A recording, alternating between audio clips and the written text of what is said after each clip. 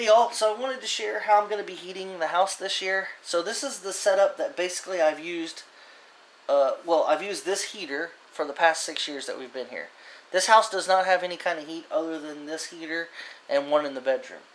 Um, now last year I used the the smart feature setup that I'm going to show you the whole year. So this is kind of the version 2.0 ghetto style. This was more ghetto last year. Um, but the heater itself has always been what's heated our house. So in the past, what we've always done is we just come over to this heater, you turn it on, then you turn the fan on low, and um, that's what heats. That's what we rely on to heat the living room, the kitchen, the dining room, the hall, and the bathroom. Yeah, it's cold, but that's what I can afford. Um, and then also in the bedroom, I have another oil heater, so on really, really cold days, we'll run both heaters, but we try not to do that because it's expensive. Now, with this being a smart heater, this is really cool. Control this remotely through a digital thermostat.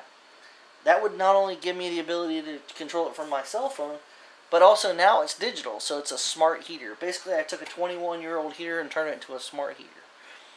And the way this setup works is, is this receptacle that you guys are looking at is a single receptacle. It's a two gang box, but it's a single receptacle, 20 amp, with a piece of 12-2 dedicated wire that runs back from this back to the to the breaker panel.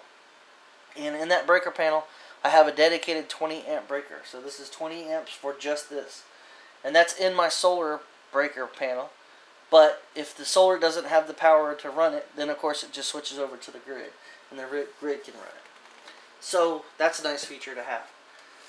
The way this basically works, however, is this just you just turn this this heater on high. You leave everything the same. You just turn this heater on high, and then you turn the fan back there on low. And normally I have a air filter that goes back there on the back of the filter the the fan. I haven't put that on there yet. Um, but anyway, so what you do is you just take your your your app on the phone. You set the th temperature just like you would any other temperature, you know, on your wall, and bada boom, bada bing. What this will do is, is it'll turn on. This is this is the manual version of this. So turns on the fan, turns on the heater. The heater will heat up, moves the air around the house, warms the house. Now, um, this is the thermostat that reads that temperature. So this is what's actually controlling where it's reading. So it works out pretty good. Um, I've kind of, over the years, figured out where this needs to be in, you know, next to this. But so that's how that controls that. The nice thing about this remote is we, in the past, would never turn this on when we left the house because it was dangerous. Um, well, I felt it was. So we would never leave this when we weren't home. And we would come home sometimes and it'd be 30 degrees, you know, 25. We've had pipes freeze. I was in the hospital for four days and we weren't here to turn the heater on. The house froze.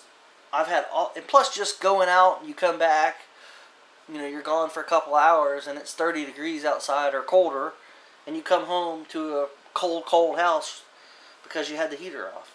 Nice thing with this is, is as long as we have my wife's cell phone, we can remotely turn this on. And yeah, it'll be on while we're not home, but only for a little while. So it's preheating. Like, basically, we have like a kind of thing on the map, and by the time we get to that spot in the map, I know to turn the heater on. The other cool thing is for this year, now I didn't have this last year, but I've showed you guys in the past my relay system for my fans. So I'll leave a link if you haven't seen that. But basically, in a nutshell, I have two little fans. One that's over on this wall behind you guys, and one that's in the hall down there blowing into the bathroom. What happens is, is when this comes up to temperature, and this is satisfied, this sends a signal to those other two fans to turn those other fans on. So it'll first turn on the fan in the living room to push the air down the hall. So then, once the heat gets down the hall, it'll then turn on the fan for the bathroom, which then pushes warm air into the bathroom. I haven't fully tested that on the heat side. Now, it works for the air conditioner. Run a whole summer with it, and it works great for the air conditioner.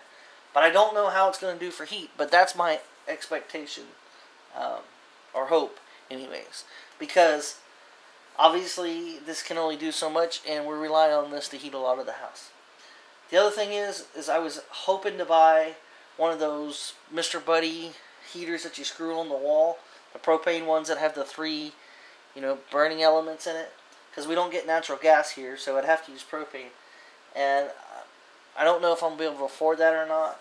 Uh, but I can tell you today's 19th of October, and we already are in the 40s at night. Uh, it was 48 the other night, and that's really cold for us. Usually we don't see these temperatures until October or November, late November too. Like this time November, we don't usually see these temperatures. So we'll see how that goes. Um, but I know this particular portion will will at least keep us warm. It's not going to keep us hot, but it'll keep us lukewarm. Um, but it is what it is. So, if you guys have any questions, comments, concerns, please leave them below. Thanks a lot. Take care, and God bless.